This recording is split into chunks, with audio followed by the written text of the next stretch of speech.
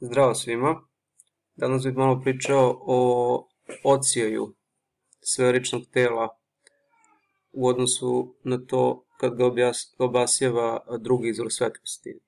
To znači na svakom sferičnom telu mora da postoji hotspot, to jest predeo koji najjače ocijajava svetlo, izvor svetlosti i to je znači onaj deo sfere koji je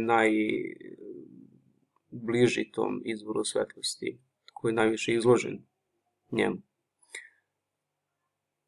Sve ostalo je manje osvetljeno i senka koja se javlja na ivicama takođe a, pokazuje da je, pitanj, da je u pitanju sferično, sferično telo.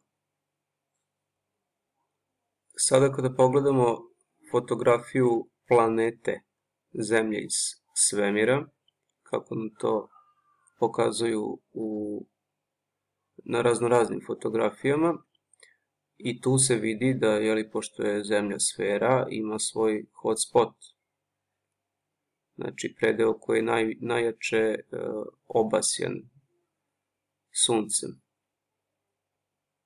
To isto vidimo i sa ovog japanskog satelita koji iz svemira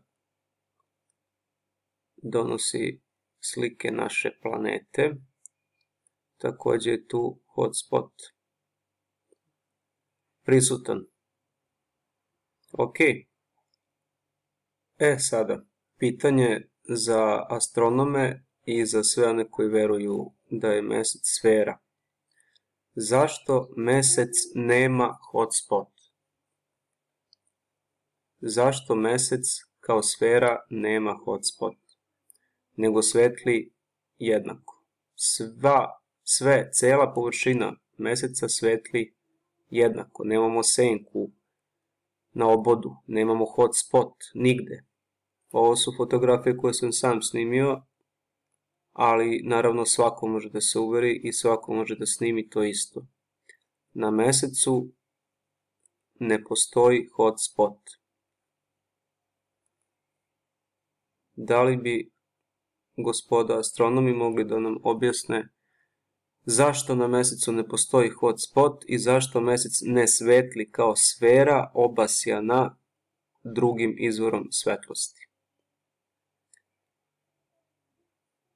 Hvala na gledanju, ostavite komentare i veliki pozdrav!